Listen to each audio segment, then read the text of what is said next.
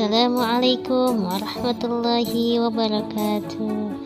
Alhamdulillah Masya Allah Barakallah.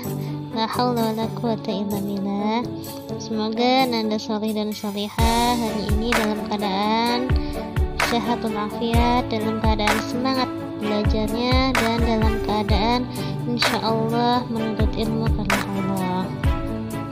Ya bagaimana kabarnya anak-anak Alhamdulillah bi khairin nu'minu billah wa nuhibbul Qur'an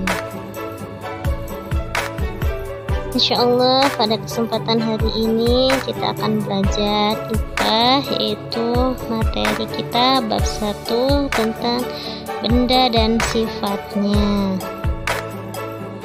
Ya Allah menciptakan benda dengan kekhasannya atau keistimewaannya masing-masing.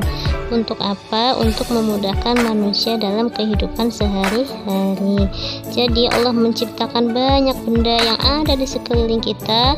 Itu tandanya Allah memberikan kasih sayang kepada kita agar kita manusia dapat melakukan ya e, mempermudah manusia untuk kehidupan sehari-hari melakukan uh, sesuatu gitu. Jadi uh, kita harus bersyukur kepada Allah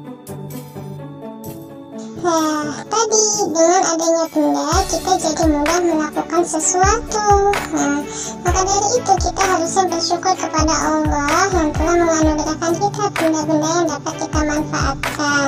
Contohnya, seperti misalnya kalau kita mau ambil air, oh ada dayung. Kita mau apa makan, ada piring. Kita mau minum, ada gelas. Itu semuanya adalah benda-benda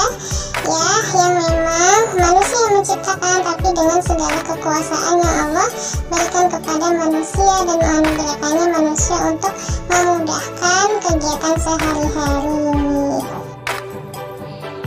Hmm, kita masuk pada benda. Apa sih itu benda?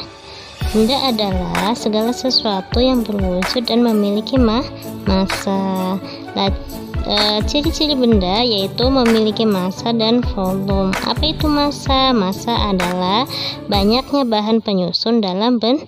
Nah, apa itu volume? Volume adalah ukuran ruang yang ditempati oleh benda. Jadi, setiap benda tadi dikatakan segala sesuatu yang berwujud dan memiliki massa atau berat.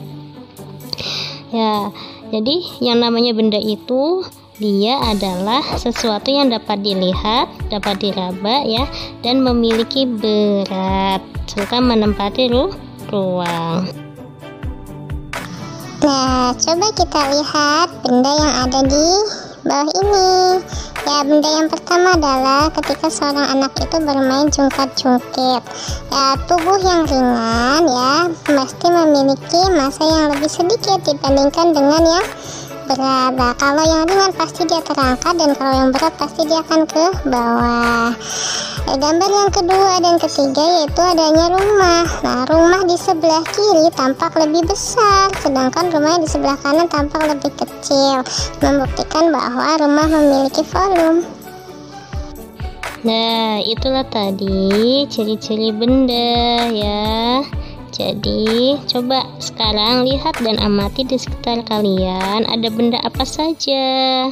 Nah, coba lihat apakah memiliki ciri-ciri yang tadi, yaitu benda memiliki massa dan memiliki volume, atau benda memiliki berat dan menempati ru ruang. Coba nanti kalian lihat salah satu benda yang ada di depan kamu, ada benda itu.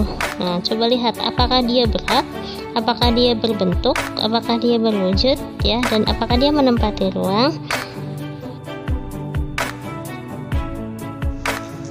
Contohnya adalah botol minum yang biasa kita pakai sehari-hari.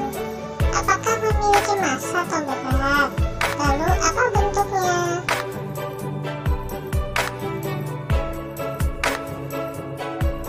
Ya, kenapa dikatakan memiliki massa atau berat?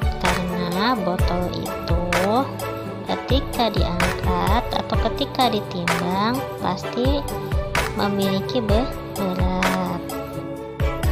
Lalu apa bentuknya? Bentuknya tabung atau kotak yang memiliki ruang atau isi di mana botol minum tersebut ia berukuran kotak dan dapat diisi. Demikian pembelajaran hari ini, semoga bermanfaat. Wassalamualaikum warahmatullahi wabarakatuh.